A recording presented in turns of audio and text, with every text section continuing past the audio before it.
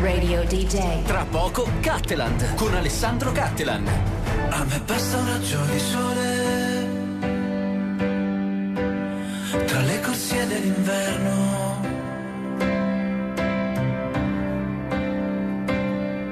Spurgare attraverso il sudore sulle facce l'inferno.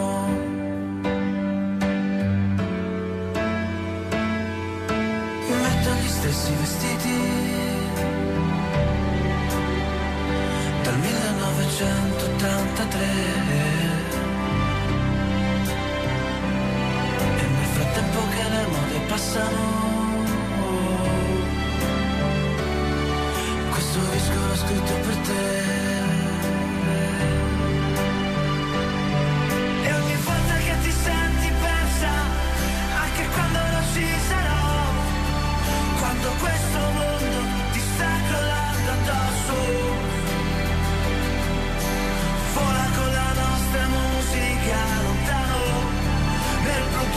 ghiaccio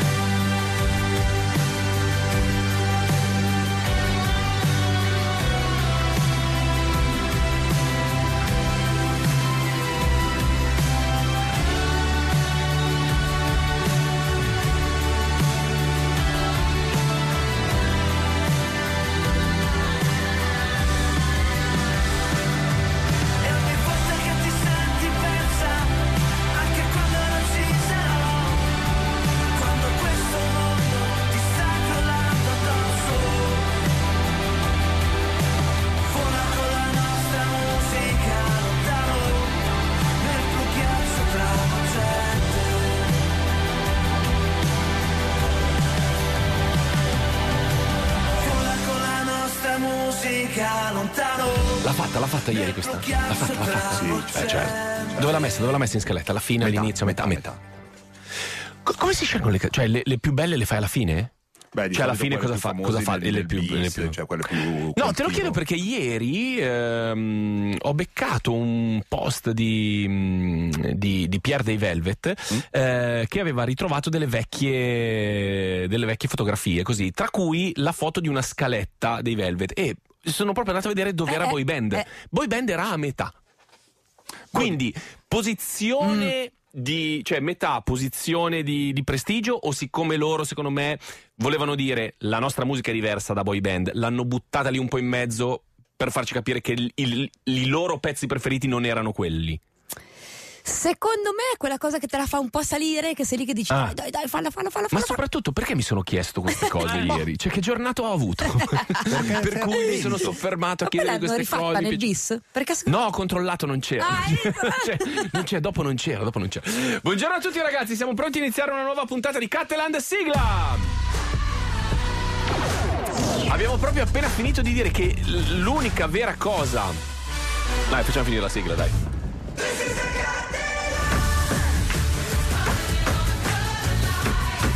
Pronto? Pronto?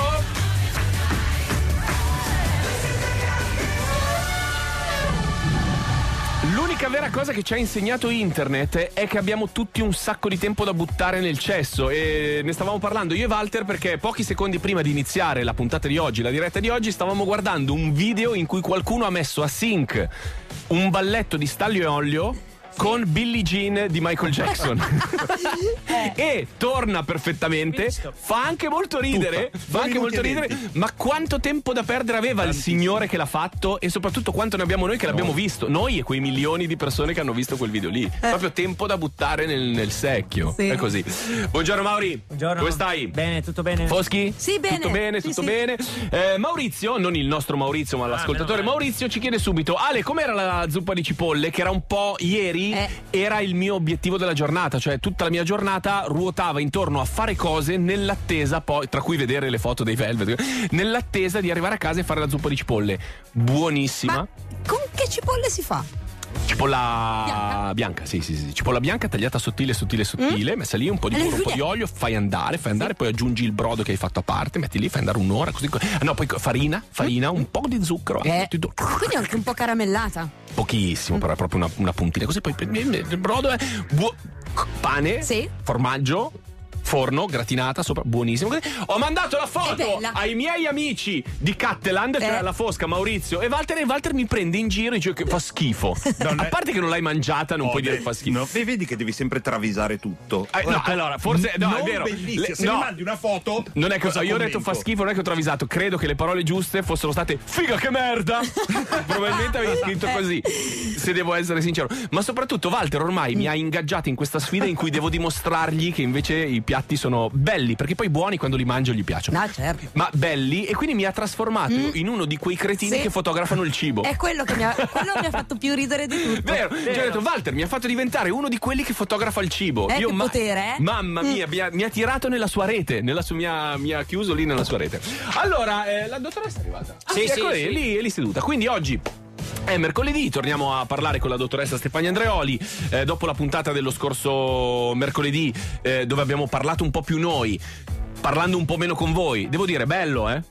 Bello, cioè magari lo rifaremo, però oggi parliamo di nuovo un po' con voi. Sì. Quindi se avete domande per lei 347 342 5220 anche se a me è piaciuto eh, parlare con lei. Però oggi parliamo di nuovo con voi. Parliamo di nuovo con voi e dei vostri problemi, eccetera, eccetera. 347 342 5220. Iniziamo con Creep dei Radiohead. Madonna. Mamma mia, ma ci meritiamo tutta questa. tutto questo ben di Dio? Sai che Mauri, Mauri ci meritiamo tutto. Sì. Ricordo, tu ti meriti ragione. tutto, tutto, tutto. Anche tutto. Walter. Ma sì, anche Walter. Un uomo che mangia i toast anche a Eh, Natale parla dei miei piatti. Però È incredibile questa roba, è incredibile. When you were before Couldn't look you in the eye. You're just like an angel. Your skin makes me cry. You float like a feather In a beautiful world I wish I was special. You're so fucking special.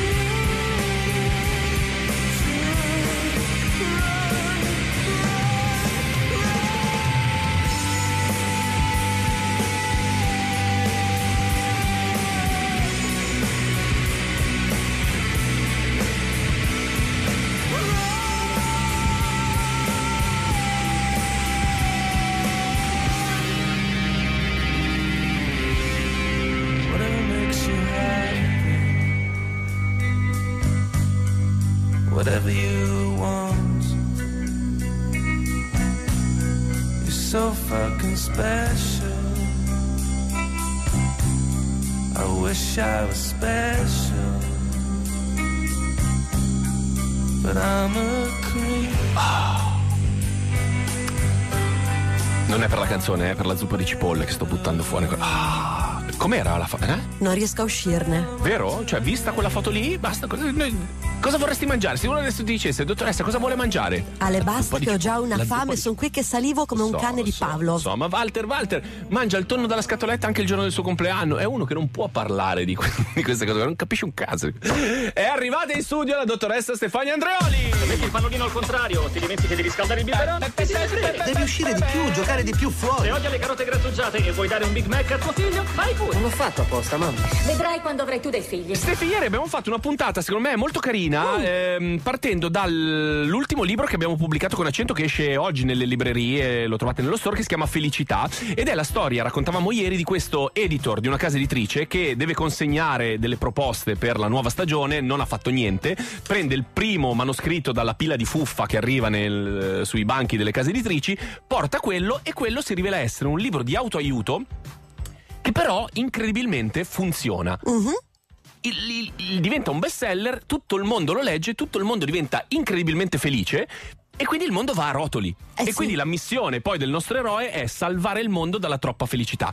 Mi chiedevo, ma non è che noi il mercoledì stiamo facendo la stessa cosa? Stiamo s- rendendo felice troppa gente, cioè stiamo risolvendo troppi problemi. Se poi do- fra qualche mercoledì tutte le persone non avranno più problemi, il mondo andrà a rotoli. Beh, allora, intanto è intrigante, lo leggerei. Eh. Dopodiché, considerare che noi questa operazione la facciamo un giorno su sette, quindi Sì. tutti gli altri, i tuoi ascoltatori, sono allo sbando. Cioè c'è tempo, dici, C'è per, tempo. per risolvere tutti i problemi del mondo. mi hai Eh. insegnato, perché io non l'avevo mai vista in questi termini. Certi argomenti ormai chi ti segue eh, l'ha notato sono un po' ricorrenti, però di genitori ne nascono tutti i giorni, Eh, perché sì. magari noi oggi parliamo con il genitore dell'ottenne, ma deve ancora arrivarci il genitore di quello che è nato settimana scorsa. Eh, certo. Quindi in qualche modo problemi secondo me ce n'è sempre. Però sai che ha un fondamento anche psicologico in realtà eh, il plot di questo libro di cui parli. No, infatti è molto bello, cioè è un libro molto, molto intelligente, sì. Assolutamente sì, la felicità non solo è, ma deve essere concepita come un lampo. Certo, è quello come di cui parlavamo ieri. Sì, sì, sì, altrimenti impazziamo Eh sì. perché la felicità perenne si chiama mania ed è uno stato eh, psichiatrico. Eh sì, e quindi poi. E un'altra cosa che penso di noi, per levarci la responsabilità di rendere il mondo troppo felice con i problemi troppo risolti, è che noi siamo sartoriali. Cioè, non è che vi, vi diciamo le cose che valgono per tutti, noi parliamo con ognuno, non siamo HM o Zara che fanno vestiti molto belli, ma per tutti. Noi siamo un, un piccolo sarto di una Che bottega che vi fa il meraviglia. cappottino. Vi fa un cappottino che magari vi siete convinti che vi serve, manco vi serve, però vi facciamo un cappottino per voi. E intanto ce l'hanno. E intanto ce l'avete lì, che nei momenti di freddo ve lo mettete su. Davide, Pronto? c'hai freddo? Vuoi un cappottino? No, da adesso sto bene. 5.000 grazie. euro. No, eh, da adesso, no, da adesso stai bene, adesso stai bene. Allora, Davide ha un figlio di 8 anni, una figlia di 11 e eh, velocemente la domanda che ti, mm, ti schiaccia il petto che vuoi fare alla dottoressa riguarda? Riguarda Simone, eh, intanto ciao a tutti, eh, compreso la dottoressa Sì. che sta dietro, scusatemi. Ehm, è un periodo in cui facciamo un po' fatica a gestire la lacrima facile che ha, che ha Simone.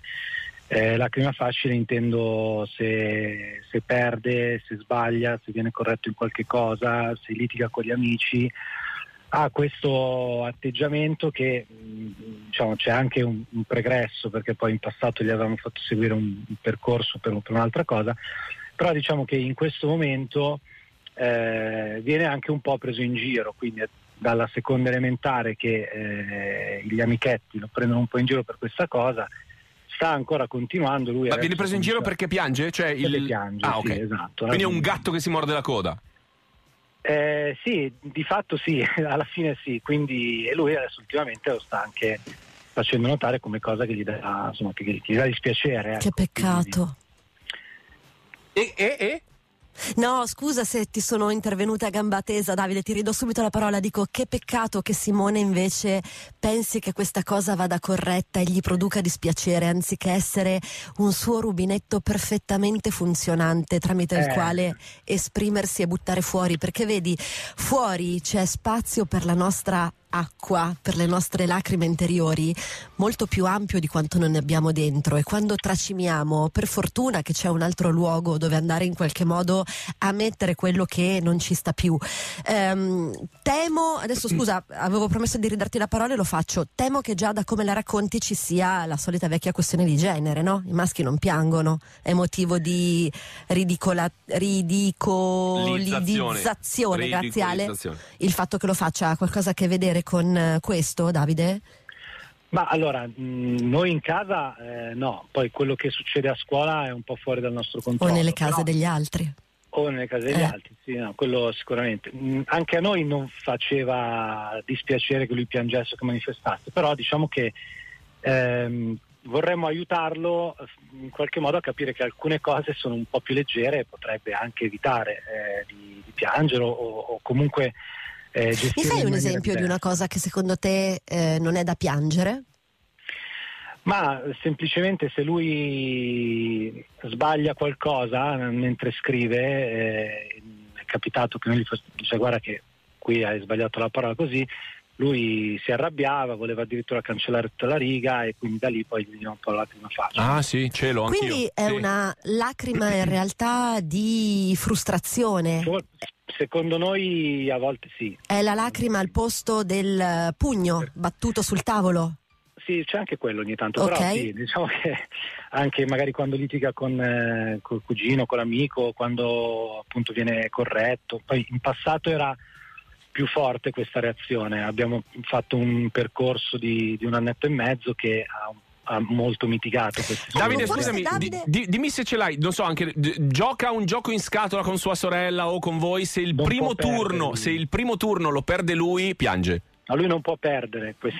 Ah, noi adesso con Olivia, perché anche lei, se, se lei perde il primo, cioè se è la prima a perdere, eh, piange. Se invece vede che perdono gli altri e non piangono, allora poi accetta anche il fatto di perdere lei. Però se lei è la prima che vede così, eh, disperazione. Sì, è, è alla stessa età, eh, è, è in quegli anni lì. Con i giochi in scatola è stato un grande problema. Eh, certo, sì, sì. Molto, molto Allora, complesso. sai cosa sembra, Davide? Ehm, io ultimamente, adesso che i colleghi non mi rubino l'idea, eh, sto riflettendo molto sul fatto che ognuno di noi abbia tra le cinque emozioni di base un'emozione dominante che in qualche modo rischia di sovrastare e coprire le altre. Nel caso di Simone sembra un pochino che lui ci metta la tristezza, perché se vuoi il pianto può essere un'espressione di eh, gioia anche o di commozione, però in questo caso mi sembra che in effetti racconti di uno stato d'animo di segno negativo dentro al quale lui è a disagio e non sta bene. Ecco, sembra che eh, Simone mandi avanti la tristezza e quindi la lacrima un po' per tutte le reazioni emotive, cioè anche quando potrebbe a buon diritto starci meglio ed essere più coerente qualcos'altro, la paura, la rabbia, eh, il disgusto alle volte, invece lui ci piazza sempre dentro la tristezza, come se fosse dominato dall'avere a disposizione quella come prima reazione. Probabilmente potreste considerare che questo percorso che già avete visto abbia prodotto dei frutti possa essere un pochino implementato e fare un richiamino, ecco, una specie di seconda manche, perché probabilmente ha bisogno di ampliare la gamma delle sfumature delle emozioni di cui dispone, che in effetti sono più di questa. Davide, ti mandiamo un abbraccio. Grazie. Ciao, buona presto. giornata. Ciao. Qualcuno consiglia anche di fargli vedere Inside Out. Indovina chi ha lavorato in Side Out? Tu? Ah, hai fatto il doppiaggio? No, ho fatto No, so, l'adattamento so. alla versione Lo italiana. so, lo so, lo so.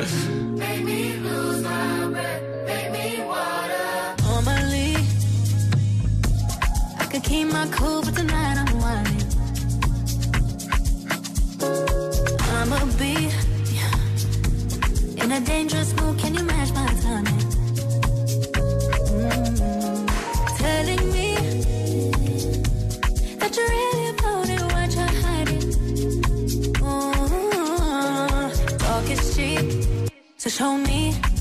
That you understand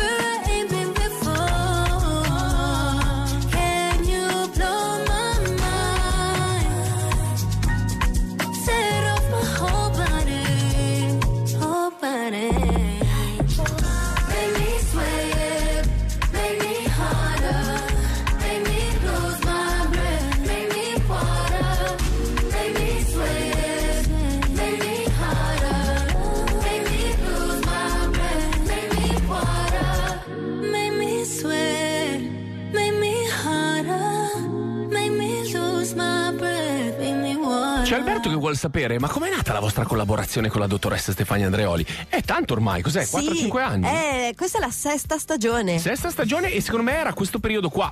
Eh, sì. Era un po' inverno. La era- racconto io? Vai. Allora, era dicembre, noi ci eravamo conosciuti in primavera perché tu avevi concesso che io venissi a parlarti di Papà fatti sentire che era appena uscito il mio Sì. secondo saggio. Eh, avevamo funzionato, ci eravamo subito trovati in sintonia. Tu quell'anno avresti dovuto sostituire Fabio Volo che andava a girare un film a New York quindi avevi preso il suo orario delle 9 del mattino Alla del mattina abbiamo mercoledì. iniziato? E mi avevi detto, Stefi, proviamo, Ah, ti do sì, l'occasione sì. di vedere se possiamo andare oltre una puntata. mi e siamo ricordo alla che sesta era stagione. questo periodo invernale un po' più avanti perché mi ricordo proprio quando ti ho, ti ho scritto che stavo andando a comprare i regali Allora, per eh, mia moglie e le mattina bambine. di dicembre, Sì. io sai che non ho Whatsapp, ho letto solo l'anteprima. Ciao Stefi, sono Ale Cattelan e sono rimasta in macchina ferma, credo per delle ore, senza aprire il messaggio Eh sì, in fase catatonica. Eh, lo so, faccio questo effetto qua, faccio questo effetto. Cosa vi devo dire, ragazzi? Sì? Sì, eh beh, mm, eh, vabbè. Eh, anche perché va, de- cioè, va detto, nel senso, poi la eh, dottoressa ha avuto un'esplosione, però non eri ancora la dottoressa Stefania Andreoli di oggi, No. con milioni di copie vendute. No. E, blah, blah, blah. cioè, era un inizio di, di quella cosa lì. Pensa, Bene, bene. avevo 8.000 followers su Instagram Eh, all'epoca. adesso siamo a? È 340.000. L'ho inventata io, l'ho inventata io. È vero, è io. vero. Allora, ci fermiamo per un po' di pubblicità, ritorniamo tra poco. Giusto, già pubblicità, Mauri? È giusto, ok. Torniamo tra poco con la dottoressa Stefania Andreoli, pronta a rispondere a tante vostre altre domande. Tra poco.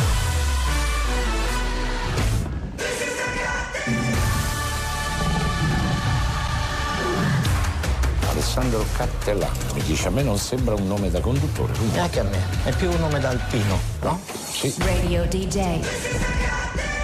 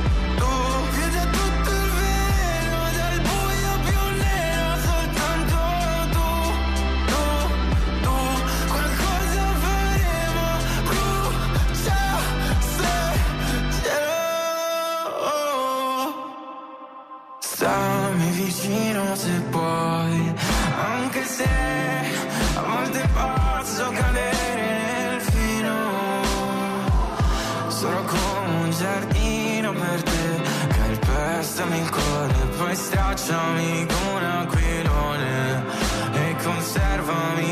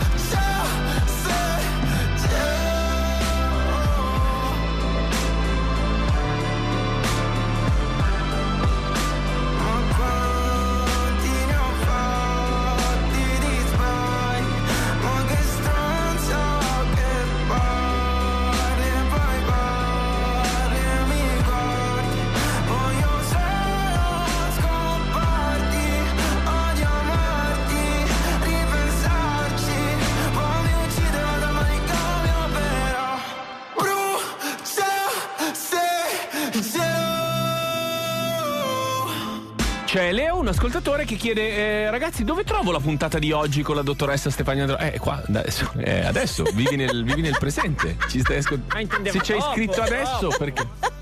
Sei sicuro che ci stai mandando in onda nella radio giusta, Sì. Mauri? Non è che hai preso la linea di qualche altra radio del gruppo qui? No, siamo su Radio DJ. Sì. E allora qui, Leo, dove ci vuoi sentire? Qua, siamo qua per te, siamo qua per te. Bentornati, sempre in diretta su Radio DJ, mercoledì come al solito insieme alla dottoressa Stefania Andreoli. Eh, stavo guardando, mi ero segnato un messaggio, non mi ricordo più se c'entrava con ciò di cui stiamo per parlare o di cui abbiamo parlato.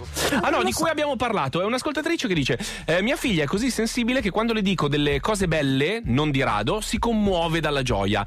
E appena la sgrido, però piange subito poi viene da me e mi dice facciamo pace. Eh, siccome io sono molto irruenta, scrive la- l'ascoltatrice. Poi mi sento anche in colpa rispetto a tutti questi sbalzi emotivi, però mi devo approcciare diversamente e trattarla come fosse di vetro o, o- o Uh, può no, imparare ferma, ferma, ferma. Grazie Ale, eh, perché letti i messaggi proprio per, come vengono scritti, secondo me im- immediatamente fanno notare dove vada messo l'accento rispetto a certe parole chiave. Che questa mamma si dichiari irruenta, Sì. che poi pensi per eh, poter approcciare in maniera più morbida sua figlia di doverla trattare come se fosse di vetro. Diciamo che lascia già capire un po'. Sembrerebbe lasciare un po' intuire che forse questa bambina mal sopporta eh, l'irascibilità della madre, non Sì. riesce a stare dentro ai momenti normalissimi di conflitto o di malcontento del genitore, Però nemmeno in quelli di, di amore, perché dice che appena le dice anche una cosa molto carina, tipo "Oh, come sei bella oggi, lei inizia a, a, a piangere. Allora, non vorrei assolutamente fare delle interpretazioni, Sì? lo dico in abstracto perché Sì, loro due sì, non le non- conosco. non ti conosciamo. Mm. Ma mi verrebbe da pensare quasi che questa bambina possa essere incredula. E allora magari. Ma veramente vi vuoi bene? Eh, Così? capisci? Ah, magari c'è un po' di disordine rispetto alla paura. Eh, abbiamo detto quanti anni abbia questa piccola? Eh, non c'è scritto. Eh, allora è un dato che mi manca. Probabilmente si trova un po' a fare fatica a trovare un equilibrio tra quando la mamma si arrabbia e quando la mamma invece la rispecchia positivamente e ha paura di perdere continuamente quello che sente un senso di precarietà affettiva. Sì. Quindi attenzione all'irruenza, ma non pensando che la piccola è di vetro, pensando che per la piccola tu sei l'amore della sua vita. Eh, così l'hai ammazzata, però. eh. Adesso è lì che dice, oddio, ho sbagliato tutto. È No, no, dice, no, "Oddio, però diventa sbagliato". No, no, è giusto, un'occasione giusto, per essere maggiormente empatica e calda. Al telefono invece abbiamo Marta che ha scoperto il mondo, pensa, e ne vuole parlare con noi. Marta! Bello il mondo. Ciao. Ciao Marta, Marta ha fatto una scoperta incredibile e voleva metterci un po' tutto al corrente di questa cosa qua. Cioè, Cioè, cioè che hai scoperto che i bambini di 7 anni al parco si menano. sì. No, ma pazzesco! Ma- ma- ma- No, un po', un po' tanto, dice, ma com'è che qua si passano le loro giornate al parchetto a rincorrersi, menarsi, darsi calci, pugni, gli schiaffi? Eh, sì, facciamo così. No, mi dicevano eh, in particolare quando escono da scuola. Mm. Quindi forse quando sono un po' troppo carichi, però il mio problema è io sono una zia, non sono una, una mamma, Sì. quindi mm, parlo per mio nipote Sì. e della sua difficoltà di eh, non saper reagire a, a una certa irruenza degli altri bambini e, e poi credo sia una cosa che eh, riguardi sia bambini che bambine. Brava, ci anni. piace. E, e dunque sì, chiedevo come, come, come che si fa? Cosa dire a un bambino che non sa come reagire alle botte o a, a troppa irruenza? ehi, attenzione, no, no, no, no, eh, già mi semplifichi le cose perché hai anticipato Ok. i famosi dettagli che altrimenti ti avrei chiesto io, perché la mia domanda sarebbe stata, ma tuo nipote eh, subisce, è passivizzato rispetto a questi episodi di aggressività? Me l'hai già detto. Allora, Sì. io non credo che il tuo interlocutore sia tuo nipote in questo caso, lo diventa in seconda battuta perché se ti viene spontaneo, se sei questo tipo di zia, poi eh, lo coccoli, lo conforti, te lo tieni vicino, gli asciughi le lacrime, valutiamo che eh, stia bene. Però guarda, mi assumo la responsabilità di dirti che se io fossi al tuo posto, il mio interlocutore sarebbero questi bambini che lo picchiano. Cioè, Però, beh, scusami, lo menano o giocano a menarsi e quindi se ne prende un po' anche lui? ci sarei arrivata. Ah, ok. Allora, credo Scusa, che sia. scusa, scusa. No, no, no, no, sei già sempre mille passi avanti, Ale, nel 4000. Allora, secondo me dobbiamo distinguere due aspetti. Uno uno potrebbe essere una cosa che non vi aspettate e per questo ho particolarmente piacere di dirvela, cioè non ci dimentichiamo che eh, tutti noi, ma i bambini in particolare che hanno passato otto ore chiuse nel banco, non sono ancora così in qualche modo irregimentati dall'educazione dalla cultura, hanno tutta una loro portata in effetti di reattività, di vivacità, di argento vivo, di aggressività anche, di qualcosa che arriva al limite inferiore della violenza che noi dobbiamo accogliere come fisiologico e non possiamo pensare di frustrare o di negare o di censurare a tutti i costi perché rischiamo di farli diventare delle piccole pentole a pressione che poi esplodono. Quindi c'è una normalità del corpo che ha bisogno di dire, anche di misurarsi con il gesto eccessivo. Per questo ti dico Marta che io a quel punto da adulto ci fossero anche gli altri adulti presenti, non mi interessa, sono responsabile della scena alla quale sto assistendo, interverrei Ok. per dire che si sta passando il segno, che si sta esagerando, che ci si sta rischiando di fare male e che quello che vedo non mi piace. Quando capita a me io non giudico, non entro nel merito perché si tratta pur sempre di bambini, ma dico questa cosa non mi piace. Io non Ok. sono d'accordo, non tu ti stai comportando male, che è una differenza sottile ma che mi convince molto. Quindi intanto eh, fermarli dove il gioco diventa un'altra cosa e poi eventualmente prendere il mio nipotino che eh, non va ehm, fatto imparare a reagire pan per focaccia o a non subire la situazione, ma che in effetti bisogna assicurarsi che stia ancora bene abbastanza per aver voglia di continuare a giocare. Ok, ok, sì. Mi sembra C'è Ale che- perplesso? Sì, sì, no, no, tutto giusto. So- sono, un po', cioè, sono un po' più i maschi che fanno così, eh, del- del- Allora, del- delle femmine. Su questo mi piace dirti due cose. Mm. I maschi e le femmine, con buona pace della parità dei diritti che non viene toccata da quello che sto per dire, sono diversi. Ah. I nostri cervelli sono diversi, i nostri ormoni sono un po' più simili secondo gli ultimi studi, però di fatto apparteniamo alla stessa specie, Sì. ma siamo differenti. Quindi è vero che la reattività maschile ha delle caratteristiche differenti da quella femminile, per quanto è anche vero che c'è un aspetto culturale. Cioè, ancora adesso le bambine sono cresciute un po' sotto al cappello del comportati bene, Mhm. fai la brava bambina, fai la donnina, aiuta la mamma, cioè le bambine sono un pochino più invitate comunque a comportarsi in maniera composta. Ai maschi lo si chiede di meno. meno. Quindi può essere che una loro predisposizione biologica poi possa essere un po' esasperata dal fatto che nessuno li contenga. Allora l'adulto competente deve trovare la giusta misura tra sapere che tutto questo è normale, vale per i maschi come per le femmine, anche se forse con stili diversi. Le femmine sono in effetti più cerebrali e meno fisiche Sì. dal punto di vista dell'uso delle mani, e però sapere quando invece si sta esagerando e lì bisogna intervenire per non tollerare e mandare un messaggio educativo. Marta nel messaggio scriveva anche se è un problema generazionale, probabilmente secondo me No. anche perché lei, a- avendo 40 anni, quando era piccola, in quanto femmina, giocava di più con le femmine e non si rendeva conto che di fianco al loro gruppo che stava facendo le, le chiacchierine delle femmine, così c'erano dei maschi che si menavano tanto uguale. Non credo che sia generazionale, è molto più Eh, la storia dell'uomo. sì. È vero che oggi forse quello che è più contemporaneo è che il genitore moderno fa tanta fatica a porre un limite, Ah, che ah. sia di qualunque natura, per le botte al parchetto, che sia per l'uso dei device, che sia per i compiti fatti dai genitori al posto degli studenti. Quindi può essere che Marta si debba prendere la briga di fare lei l'adulto al posto di altri adulti che intanto stanno scrollando la loro timeline Stanno su guardando Instagram internet. mentre i bambini si Eh, anche- scannano. anche mentre i in bambini si senso- scannano. Eh sì. Anche in questo senso qui, se eh, poi c'è- ci sono genitori che non sono d'accordo con la mia opinione in quel momento, come comportarsi? Ah, io me ne frego perché non Vabbè, è un'opinione che non ci si debba picchiare, cioè non è che è affidato alla sensibilità No, individuale, tu puoi dire il la tua. figlio, in questo caso nipote, è tuo, cioè Ma se io certo. ti chiedo di non picchiarmi il figlio, non è che poi dobbiamo instaurare un discorso su questa roba qua. Non, non mi picchiare il Ale. non mi picchiare il figlio. Va bene, Marta, ti mandiamo un abbraccio. Grazie mille. Ciao, buona ciao, ciao, ciao, ciao. Ciao, grazie. Mauri, ma quando è che fai un disco così? C'è qualcuno che chiede dove può riascoltare la puntata di domani del Giovedì Lemma, Mauri? Dove lo possiamo...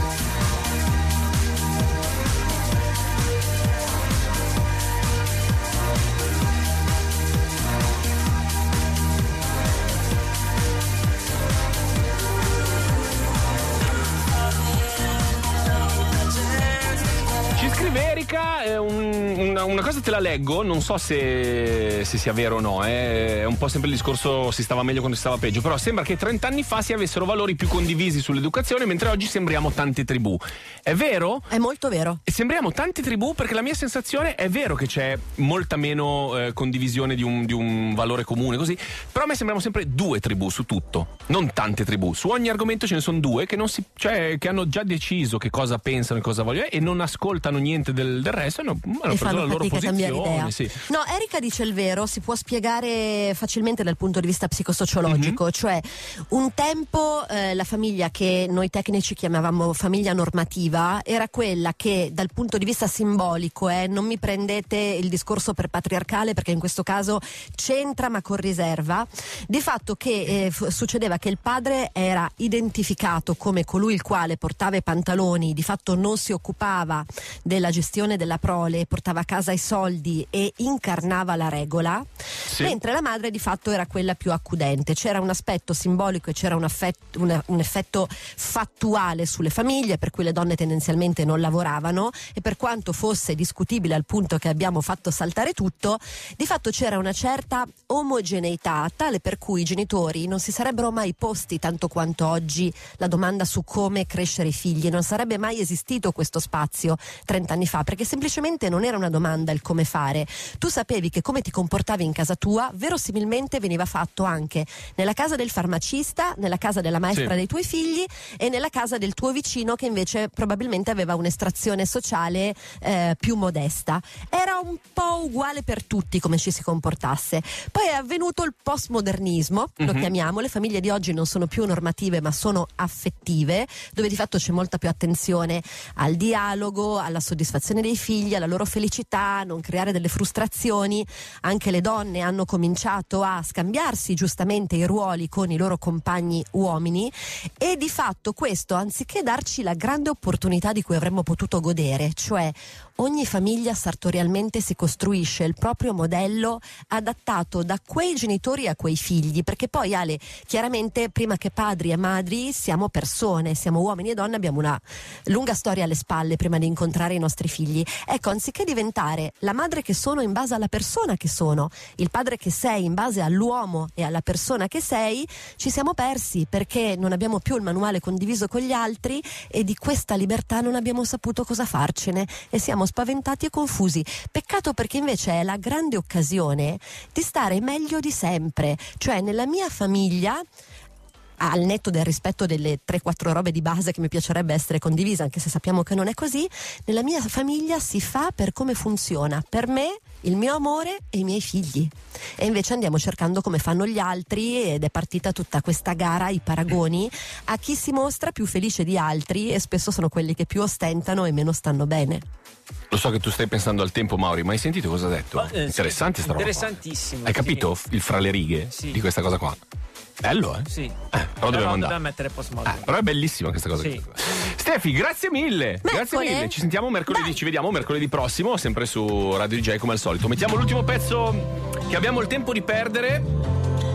Post Malone, dai, Enough is Enough come ultima canzone torna sempre perché dai, quello che c'era da dire ce lo siamo detto e ci vediamo mercoledì prossimo.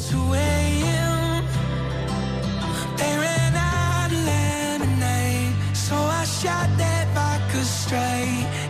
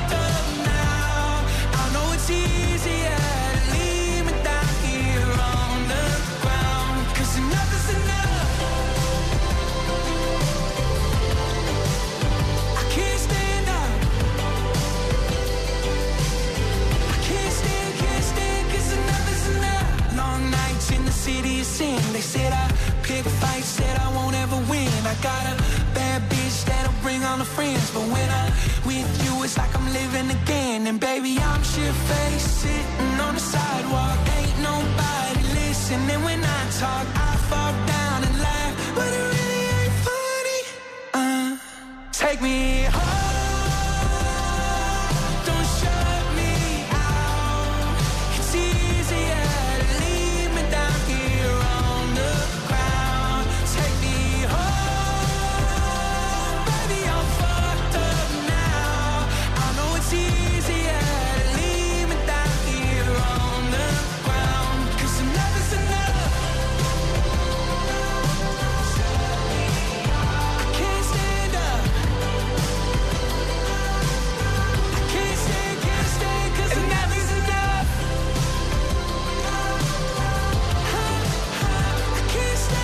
dire bella puntata, ma un'energia soprattutto di Walter brutta. Ma veramente, guarda. Guardalo, veramente. è in Perché cerco di fare polemica. il mio lavoro, di fare il mio lavoro e non mi ascolta nessuno qua dentro. E come mai? Capito, ma è. Non lo so. Come mai? Segui il flusso, cioè goditi questo- quest'ora che ti viene regalata ogni giorno, Eh. non lo so. Negatività. Datti una Madonna. regolata. Madonna. Non vi sentite più cresciuti? Madonna, che negatività. Sì, sì, Eh, sì, sì, sì, sì, sì, sì, sì. A farvi tornare coi piedi per terra ci pensiamo domani. Eh, se oggi vi sentite tanto cresciuti, domani da mezzogiorno all'una vi, vi facciamo ritornare coi piedi per terra. Ci sentiamo sempre qua su Radio DJ. Ciao. Arrivederci.